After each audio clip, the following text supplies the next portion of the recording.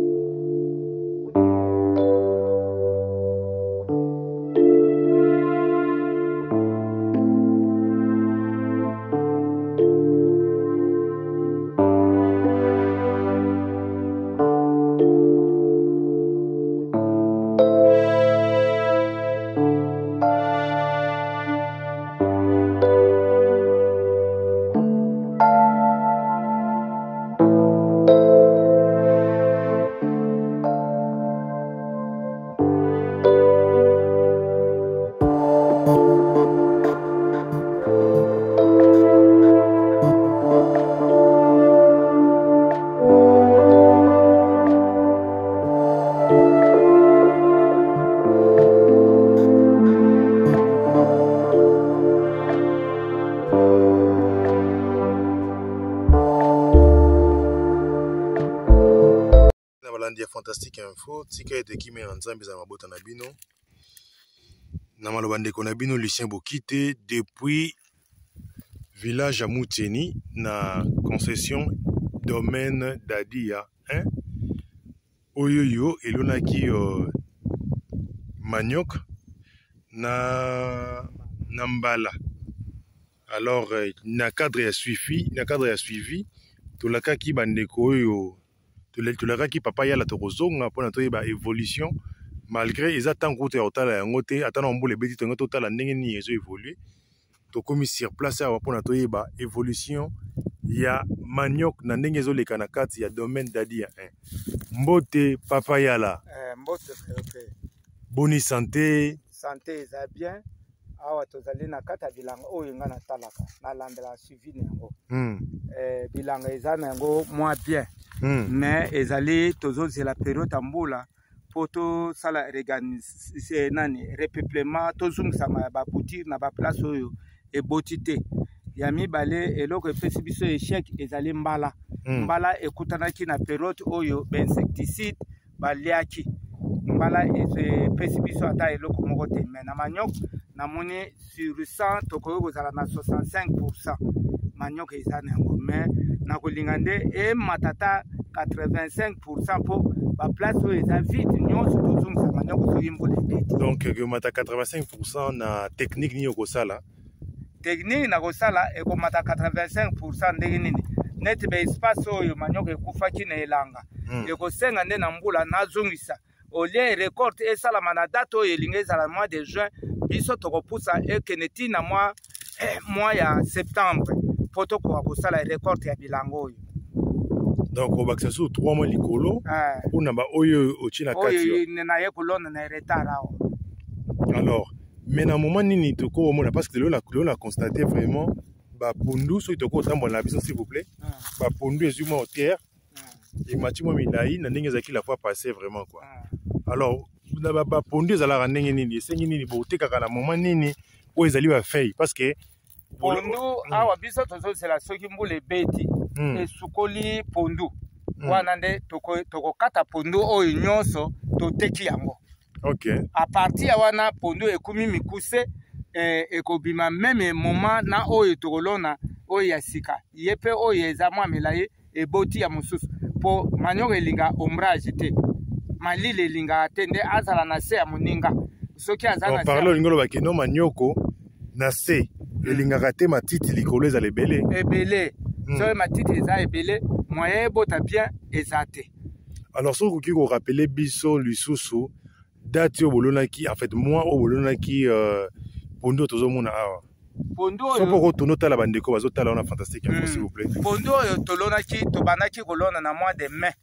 hmm. avril basalaki tozalaki kote ya mbala mois de mai toloni yango saife mai ye atikali kozwa mbula malonga te eboti na yango soki tozomona boye na mopepe ya malili ya hmm. elanga yango wana wana nde mois de mai ah, mois de pluie et mois de ya, ya saison sec tolongola yango biso tokontaka mpo osala record na bamois ya bapluie bamois oyo mbula ezobeta mbula ebetili milanga yango combien de mbula wana combien de mois wana nde oconsidere alors euh, papa yala euh, na domaine dadi awa euh, baloni combien d'hectare ya, ya manioka awa ezali 1 hectare ya manioc eza 1 hectare ya manioc eh. mais ce que okonstate ke ezali vraiment na baoyo ekufaki na ntango ya elanga oyo okozwa ntan ya kosala yango repeuplement ndenge olobi ah, repeuplement c'est-à-dire repeuplement elingi oloba bisika eza neti babisika bavide awa ah, okotisi oyo na oyo distance oyo eleki molayi elifale na katikati awa nazongisa lisusu manioc mais na ndenge oyo otanga papa yala distance entre deux manioc ezalaka ya combien de centimètres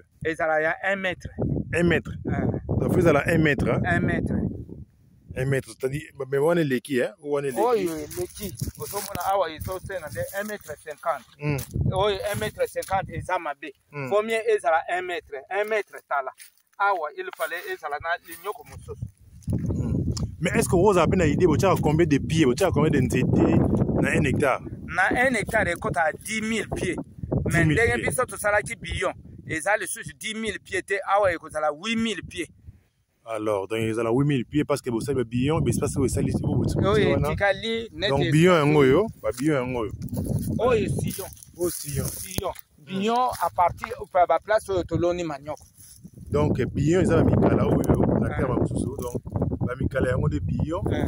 sion nde nzela oyo nzela oyo etikala na katikati yango wana nde apartir ya sion nde abuka biso nombre hmm. ya bapoke ya manyoko moye ekoka 10 000 lisusu eza te ekoka soki ekomi 8 000 vraiment eh. alors euh, papa yala toza na affaire ya domaine dadi ya 1 donc na affaire ya normalement ça devait être 8000 pieds mm. mais na perte ya ba basillon ya basillon po tosalaki billon mm.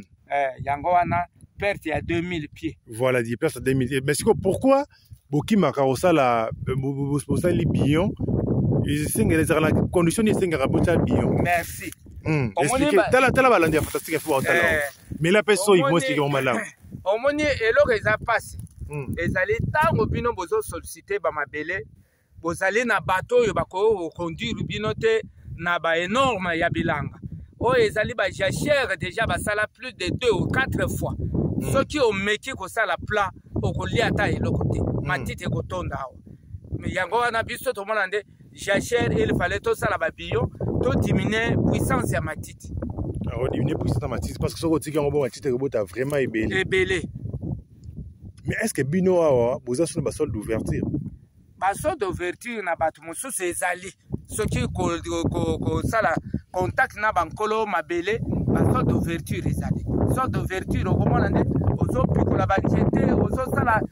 debardage awa ntango asali naza sire banda ye abandaki bilanga oyo ya liboso ekufaki atikalaki kosala makala awa te mpo njete eza te hmm.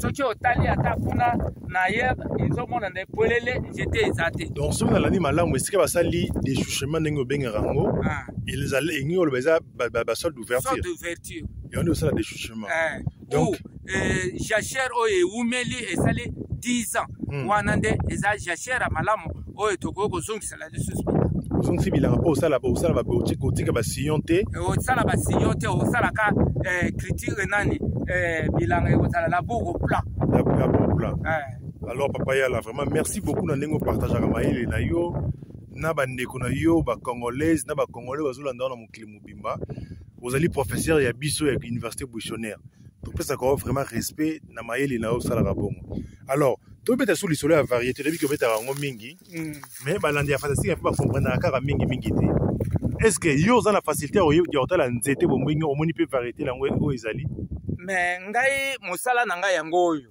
mm. naza na mosala mosusu te ndenge toza boye oyo ezali tobengaka ye lindalala lindalala eh.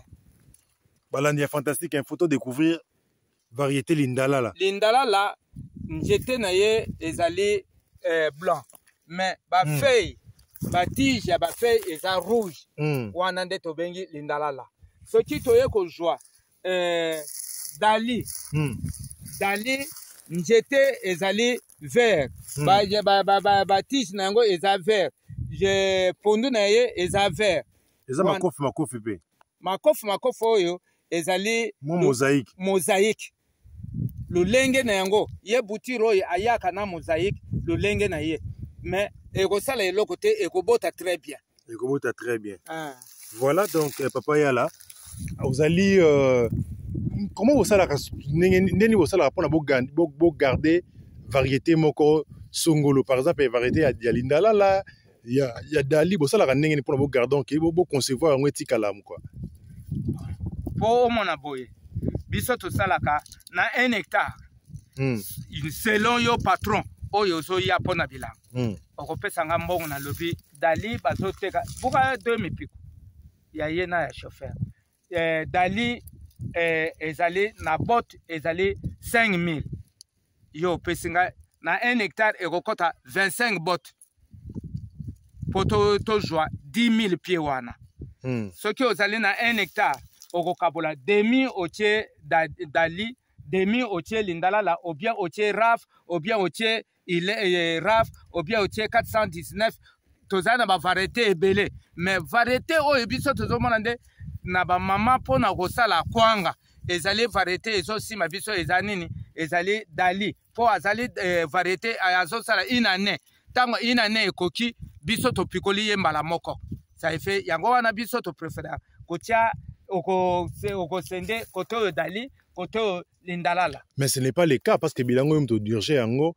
tozomona bavariété na ndenge olobi eza respecte te merci bilango oyo eye kokutana periode oyo ya retard bato bapikoli pikoli manioko bato oyo ngai nazotinda bakatela ngai butire eza ngai te moto na kati boutique bato oyo ngai nazotinda ntango azokata na bilanga motu wana amoni njete ya dali akati amoni njete ya lindalala akati ye akeye mpo na lindalala me soki amoni dali akokata ekoti na kati me olobi eloko moko boye oyo nalingi tozongela yango na nsima obike non bilanga esalami na reta pourkui bozalaka na bibino en fait eh, bino to biso ah. baoyo bandeko na biso oyo baza na pays hmm. oyo balingi bainvestir na bilanga meme ata bandeko nyonso baza libanda ah. so bayebisi biso likambo ke non eloko nalingi nasala bomoni mpe periode eleki pourquoi ne pas dire ke non mama bien ndeko kosala eloko oyo te tozela mbula sika pourquoi courage wana ezalaka te merci oyebi mabele oyo biso toza na plateau de bateke hmm. eza na dire na yango oyo bapesi yo mm. bamosusu balobi okosala deux campagne otiki mm. mais ntango campagne de le date oyo yo obandi campagne mm. moyen orate yango lisusu eza te il fallait ocontinue bon tozwa par exemple na cas ya, ya domaine dadi awa mm. domaine dadi ya eh, awa na kati ya maluku ah. bango basombi e ça semble ke basombi mpo na libela na libela eza na contrat moko ya dire te baluki mpe te mais sikoyo pourquoi koyebisa parce que emoni eh, bandeko na biso hmm. bapromotrice ya, ya, ya domaine ya otala biso hmm.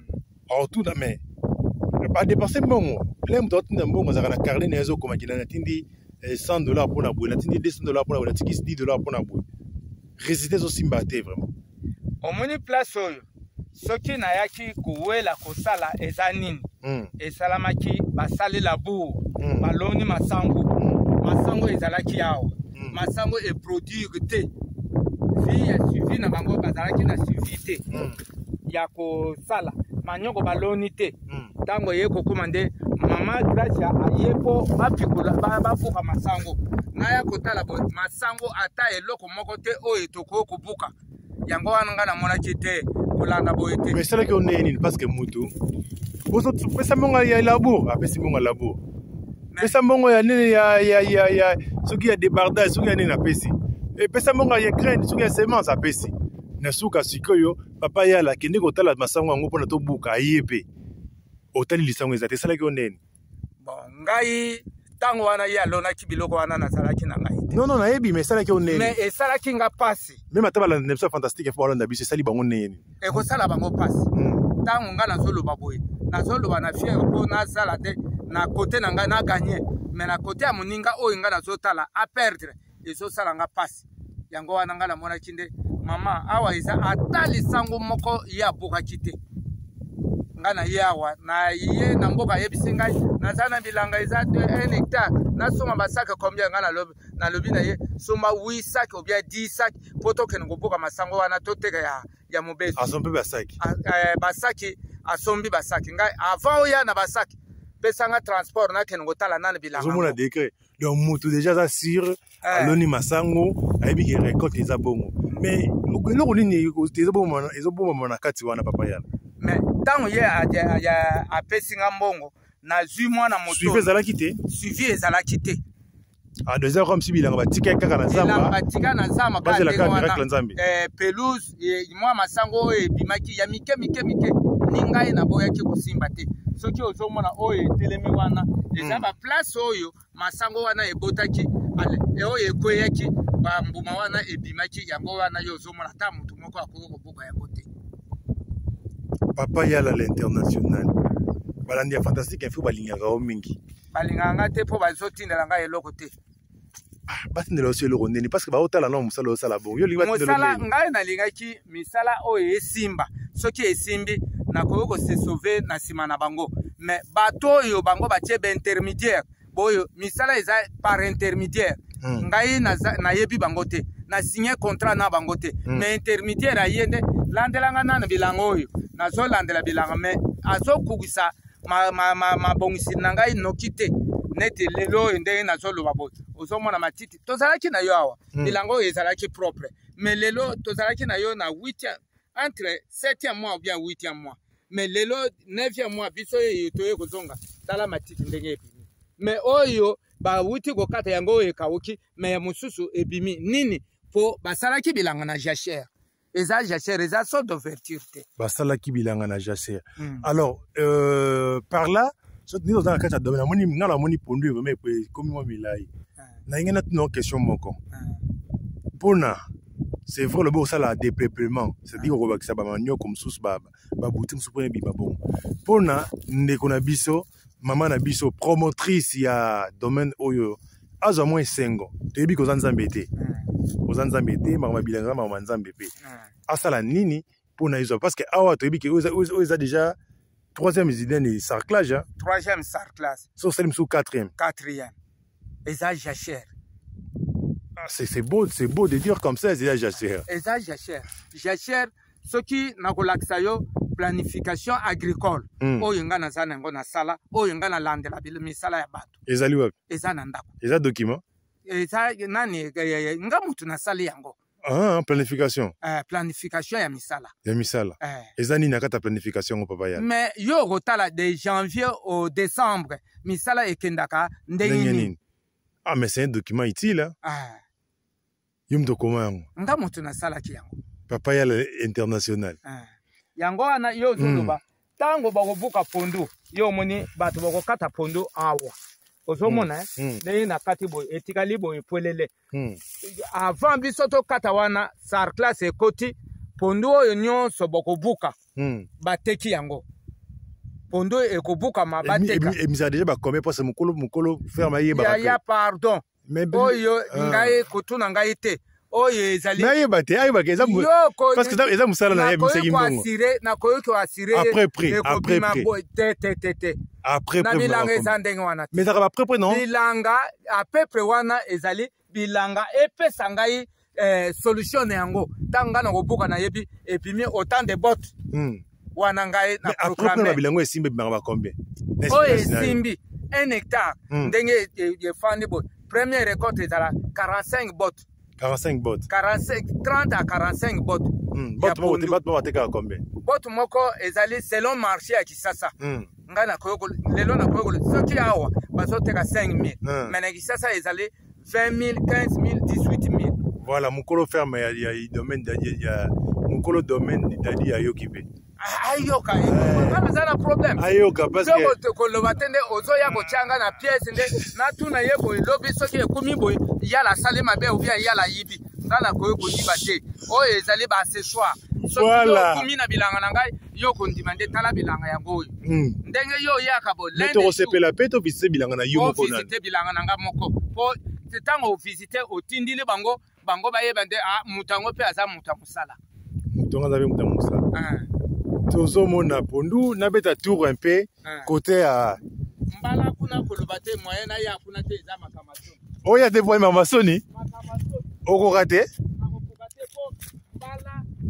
nayebisaki yo mbala malade ekotaki eh. te malade ekotaki tozwi solution na yango te totiki yango kaka ndenge wana yango wana ngai nazoloba nde kula ebeti mibale mbongo oyo eyaki na yango mpo na sarplas ya mbala nazumisaki hmm. abaki eh, bakisa mbongo mosusu ntango bakosala bion nasala bion natya agriture oyo nga moko na lokola bilanga ekomi na disposition na ngai eza na moto akodirige nga te nga nakosala ndenge nasala bilanga na ngai tokoya mpe tomona bilanga na yo papa yala parce que na fantastique info baagronome tondoleka na babilo na bino moko nano tondoleka nano na babilanga na bino moko parce que moto akopesa exemple na oyo ye moko asalaka deja po tomona peke yo deja osala nini deja ngai naza na yango bilanga na ngai ezali bana na ngai bazotanga na bilanga wana naza na bana mibale na université nakenda na biro te nakenda wapi te kaka pondu oyo na manioko moto ezofuta minerval wana voilà papa yala l'international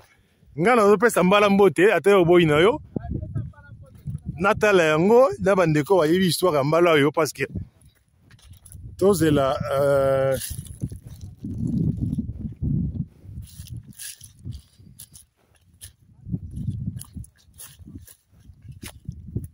papa yala nakomi esika mbala ezalaki nakomi esika mbala ezalaki eh? na mbala namoni motu te namoni kaka bamatiti namoni mpe ata mbala moko te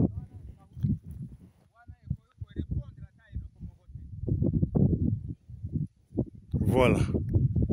Balandi ya Fantastique Info, to pesi bino merci na ndenge bondimaki koyamba biso na bandako na bino mpo na kotala découverte ya lelo tozalaki na domaine dadia 1 na commune ya maluku na village mucheni donc eh, soki oleki kaka ngombo oleki mai ndombe esika nazali ya mpo ya mai ndombe opusani mboka dumi topusanaka mwa moke nde esika ezwami village muteni Voilà soki ba video na biso ezo sepelisa bino tosenga na bino bo partager na bandeko mosusu soki nano s'abonner te o s'abonner ekosala biso vraiment malamu soki ozali na likanisi ya kopartage na biso balimero na biso ezali vraiment affiche benga biso tokosolola mpo na lokumu ya mboka na biso nzambe azala mabota na bino tokutani mbala ya nsima ndeko na bino lucien bokite